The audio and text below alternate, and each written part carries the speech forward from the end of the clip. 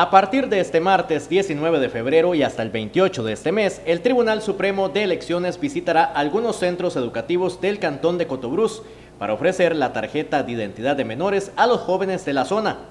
En la región de Cotobruz, específicamente en la zona de la eh, Lucha, Santa Elena y La Casona. El propósito de esta gira es visitar los colegios de estas comunidades para ofrecer el servicio de tarjeta de identidad menores a todos aquellos jóvenes que cumplieron los 12 años y están próximos a cumplir los 18 años. Este martes 19 de febrero y el miércoles 20 estarán en el Colegio Técnico Profesional de Santa Elena de Pitier, de 9 y 30 de la mañana a 3 de la tarde el martes y de 9 y 30 de la mañana a 1 de la tarde el próximo 20 de febrero. Para este martes 26 de febrero de 9 a 12 estarán en el Colegio Jorge Bolio Jiménez en La Lucha y el jueves 21 estarán de 9 de la mañana a 3 de la tarde. Y para el miércoles 27 y el jueves 28 estarán en La Casona, en el Liceo Rural La Casona Guaymí, de 9 de la mañana a 3 de la tarde.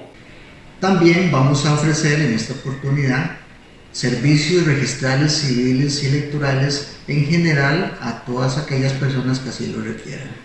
Adicionalmente, los vecinos de estas comunidades podrán solicitar su cédula de identidad, certificaciones de hechos vitales y civiles, reconocimientos, rectificaciones, declaraciones de nacimiento, entre otros trámites.